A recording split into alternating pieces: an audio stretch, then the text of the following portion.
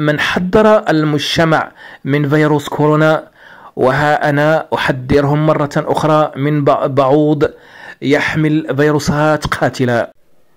هذا البعوض أحبابي الكرام سينتشر بادئ الأمر في آسيا وأوروبا وسينتقل بعد ذلك إلى الولايات المتحدة الأمريكية. هل سمعتم بهذا الخبر في أي مكان؟ هذا الكلام قاله المعبر المغربي محمد مجاهد. وستعلمون قيمة المعبر المغربي محمد مجاهد حينما يتحقق هذا الخبر. نعم وتعلمون قيمة هذه القناة التي يحاربها الملايين من الذباب الإلكتروني.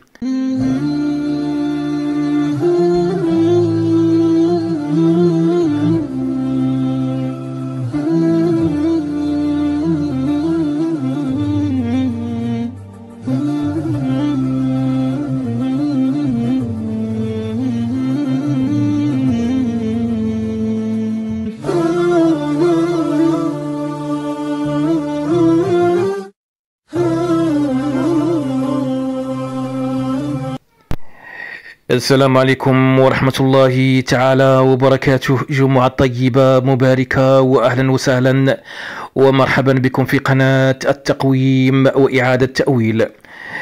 نستمر إن شاء الله تعالى في كشف خبايا وأسرار الرؤى المنذرة قبل وقوعها. أواخر سنة 2024 وسنة 2025 سنرى حروبا متفرقة هنا وهناك. إيدانا بقرب الحرب العالمية الثالثة. الحرب العالمية الثالثة لها مقدمات بطبيعة الحال.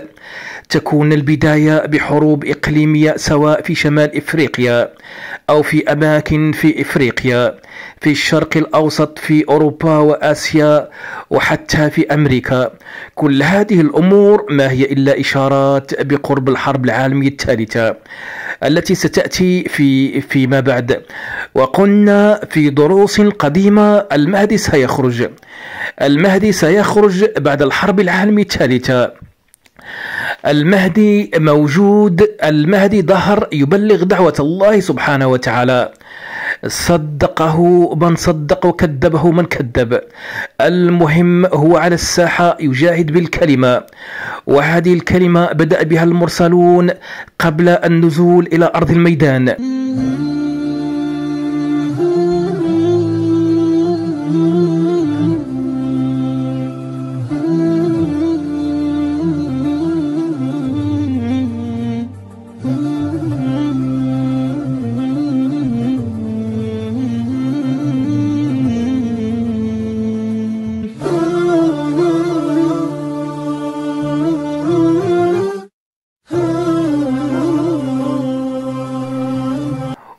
وأعود إلى الموضوع وأقول الأيام القادمة ستكون صعبة جدا ونحتاج فيها لكثرة التسبيح. التسبيح فيه نجاة. التسبيح يدفع البلاء. التسبيح سلاح الأقوياء والضعفاء. التسبيح ديدن الأنبياء والرسل. نحتاج إلى التسبيح والذكر فالأيام القادمة ليست سهلة. إضافة إلى الحروب هناك فتن كقطع الليل المظلم وهناك فيروسات أخرى ستنتشر. ليس في فيروس جدري القردة لكن هناك فيروسات أخرى. هذا تنبيه فقط لأن الرؤى المنذرة محذرة. نأخذ منها التوقعات الشرعية لنحتاط من شر قادم ونستعد له.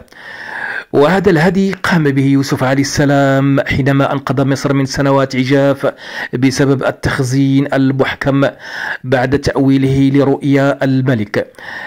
قبل أن أقرأ عليكم نصوص بعض الرؤى أحطكم علما على أنه سنسمع في الأيام القادمة رؤساء دول ينصحون شعوبهم بتخزين الطعام والشراب. أقول وبالله السعين أعوذ بالله من الشيطان الرجيم. بسم الله الرحمن الرحيم. ونحمد الله رب العالمين حمد عباده الصادقين الشاكرين.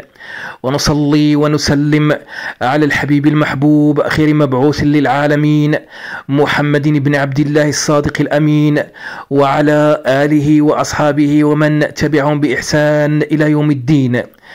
أحبابي الكرام أسأل الله تعالى أن تكونوا بخير وفي أتم الأحوال والصحة والعافية. أسأل الله تعالى أن يفتح لكم أبواب الخير دنيا وآخرة. ونسأله تعالى أن يحفظنا من شر الحاقدين ومن شر الظالمين ومن شر المنافقين ومن شر العائلين والحاسدين والساحرين ومن شر المدلسين وكل من يتاجر بهذا الدين. ونسأله تعالى أن يجمعنا في جنات الفردوس الأعلى. قولوا اللهم آمين. رب اشرح لي صدري ويسر لي أمري واحلل عقدة من لساني يفقه قولي. نبدأ إن شاء الله تعالى بقراءة نصوص الرؤى. الرؤية الأولى يقول الرائي رأيت أن البنوك انهارت في جميع مناطق العالم وكان معي عملات فضية وذهبية أحملها في يدي. وكنت أردد الحمد لله أن معي كاش الحمد لله أني ما خليت فلوسي بالبنك. وحلمت حلم آخر أن الكواكب اصطدمت بالأرض. ودخلنا كهف وكنت أحمد الله أننا قمنا بتخزين التمر. كان في الكهف أغصان فيها تمر لم يقطف بعد لكن مستوي. أعيد قراءة هذه الرؤيا يقول الرائي. رأيت أن البنوك انهارت في جميع مناطق العالم. وكان معي عملات فضية وذهبية أحملها في يدي. وكنت أردد الحمد لله أن معي كاش. الحمد لله أني ما خليت فلوسي بالبنك. وحلمت حلم آخر أن الكواكب اصطدمت بالأرض. ودخلنا كهف وكنت أحمد الله أننا قمنا بتخزين التمر. كان في الكهف أغصان فيها تمر. لم يقطف بعد لكن مستوي. هذه الرؤيا واضحة وضوح الشمس وهي على ظاهرها. انهيار البنوك العالمية في كل مكان. نعلم أن الاقتصاد العالمي مترابط وهو كالعقد. إذا انفرضت منه عقدة الكل سينهار بسرعة البرق. ومن هنا ومن هنا نعلم قيمة الذهب والفضة على الورق. والأهم كذلك هو تخزين تخزين الطعام والشراب تحسبا للأيام السوداء القادمة. وأما اصطدام الكواكب في الرؤيا معناه حرب بين الدول فالكوكب يرمز لدولة والكواكب مجموعة دول ونسأل الله تعالى السلامة إن شاء الله تعالى. الرؤية الثانية يقول الرائي رأيت في السماء نجوم كانت حمراء زي الجمر وكانت تتطاير كالفشار وشهب في السماء آه، سريعة كالبرق والسماء كان شكلها مخيف وزلزال وتشققات في الأرض. أعيد قراءة نص الرؤية الثانية. يقول الرائي رأيت في السماء نجوم كانت حمراء زي الجمر وكانت تتطاير كالفشار وشهب في السماء سريعة كالبرق. والسماء كان شكلها مخيف وزلزال وتشققات في الأرض. النجوم في هذه الرؤيا احبابي الكرام كناية كناية عن الدول. ومعنى النجوم الحمراء دول ستدخل الحرب لأن اللون الأحمر يرمز للدم والقتل. والزلزال رمز للشدة والحرب. الرؤيا هذه واضحة وضوح الشمس. الرؤية الثالثة يقول الرائي رأيت ريح حمراء ليس لها أول ولا آخر كانت مخيفة. تاريخ الرؤيا أبريل 2024 أعيد قراءة نص الرؤيا يقول الرائي رأيت ريح حمراء ليس لها أول ولا آخر كانت مخيفة. نعم ريح حمراء ليس لها أول ولا آخر هي ريح هي ريح الحرب. دائما اللون الأحمر موجود. سبحان الله دلالة اللون الأحمر مخيف أحبابي كراب. فحينما نقرأ بعض الرؤى فيها كوكب أحمر أو نجم أحمر أو ريح أحمر أو مياه حمراء أو تسونامي باللون الأحمر فهذه رموز غير محمودة. ونسأل الله تعالى السلامة. الريح حمراء أحبابي كرام هي ريح الحرب. أعيد هذا للمرة الثانية. ليس لها أول ولا آخر بمعنى مجموعة دول عالمية ستدخل هذا المسلسل مسلسل الحرب آه، إدانا أو تمهيدا بانتقالنا إلى الحرب العالمية الثالثة وأنتقل إلى الرؤية الرابعة. يقول الرائي شفت أن الماء تجمد في السماء وسمعت كمان هاتف يقول لي انهيار الاقتصاد العالمي قادم قريبا. تاريخ الرؤيا يناير 2024 أعيد قراءة نص هذه الرؤيا مرة أخرى يقول الرائي. شفت أن الماء تجمد في السماء وسمعت كمان هاتف يقول لي انهيار الاقتصاد العالمي قادم قريبا. الماء تجمد في السماء معناه أموال الناس ستتجمد في البنوك. أعيدها للمرة الثانية. معنى الماء تجمد في السماء معناه أموال الناس ستتجمد في البنوك. ومعناها كذلك أموال الدول والأرصدة ستتجمد في البنوك. معناه هناك تعطيل سيكون حتى في الصادرات والواردات. الرؤية هي هي الأخرى واضحة وضوح الشمس وأنتقل إلى الرؤية الخامسة. يقول الرأي رأيت أمامي معمل تجارب كل شيء فيه أبيض الجدران الأرضية حتى البشر يلبسون لبس أبيض مثل رواد الفضاء وكانوا بيعملوا تجارب على البعوض وفهمت في المنام. لتنقل المرض للبشر وكتب أمامي حرب أجرتوميا أعيد قراءة نص هذه الرؤية الأخيرة يقول الرأي. رأيت أمامي معمل تجارب كل شيء فيه أبيض الجدران الأرضية حتى البشر يلبسون لبس أبيض مثل رواد الفضاء وكانوا بيعملوا تجارب على البعوض.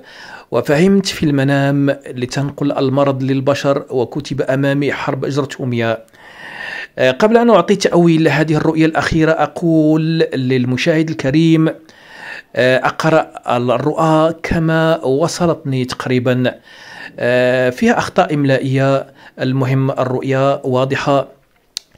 آه، هذه الرؤيا أحبابي الكرام على ظاهرها وتذكروا كلامي. قلت آه هذه الرؤيا على ظاهرها وتذكروا كلام المعبر المغربي محمد مجاهد. هناك حرب جرثومية في قادم الأيام وستكون من خلال حشرة البعوض. نعم سينشرون بعوض آه يحمل فيروسات قاتلة. وتعلمون أن البعوض يمتص دم الإنسان. آه سيلعبون على هذه النقطة. تذكروا كلامي جيدا. ستسمعون في القنوات الإخبارية بعوض قاتل قتل كم شخص. نعم بعوض يحمل فيروسات قاتلة. حينما تسمعون هذا الخبر على قنوات كثيرة تذكروا كلام المعبر المغربي محمد مجاهد وتذكروا هذه الرؤيا واعلموا علم اليقين إنما هي حرب جرثوميه نعم أحبابي الكرام هذه الحقيقة قلت الرؤيا على ظاهرها وكنت أول من حضر المجتمعات من فيروس كورونا. ما زلت أتذكر في فاتح يناير من سنة 2019 قلت فاتح يناير من سنة 2019 أول من خرج. أول من خرج وقال هناك فيروس سيأخذ ملايين الأشخاص. نعم وسخر مني من سخر. وضحك علي من ضحك. ولم تمض السنة إلا وكان فيروس كورونا. نعم أحبابي كرام كنت أول من حذر المجتمع من فيروس كورونا وها أنا أحذرهم مرة أخرى من بعوض يحمل فيروسات قاتلة. هذا البعوض أحبابي الكرام سينتشر آه، بادئ الأمر في آسيا وأوروبا وسينتقل بعد ذلك إلى الولايات المتحدة الأمريكية. هل سمعتم بهذا الخبر في أي مكان؟